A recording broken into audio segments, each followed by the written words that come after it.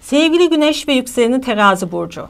Bu hafta bir taraftan iletişim trafiğiniz artarken ve sevdiklerinizle uyum içinde olma isteği yükselirken bir taraftan biraz daha kendinize vakit geçirmek istediğiniz bir hafta olacak. 7 Eylül'deki Başak yeni ayı bilinçaltı evinizde gerçekleşiyor. Bu sebeple diğer burçların aksine harekete geçmek için biraz daha beklemenizi tavsiye ediyorum. İçsel olarak sizi rahatsız eden konular şifalanacak ve önümüzdeki 15 gün boyunca kendinize olan güveninizi taze, tazeleyip aldığınız kararlar neticesinde yeni başlangıçlar yapmak isteyeceksiniz.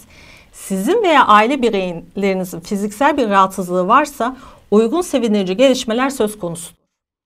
Uygulanan tedavi yönteminin olumlu sonuçlarını alabilir ya da tam da bu dönem doğru tedavi yöntemini bulabilirsiniz. Sağlık konusunda özellikle ayaklarınızı üşütmemeye dikkat edin. Bu yeni ay sürecini danışmanlık almak için değerlendirebilirsiniz.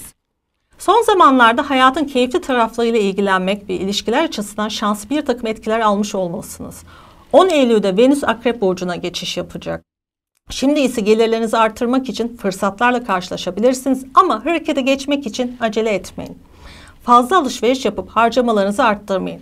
Bu haftanın size sağlık ve bereket getirmesini diliyorum.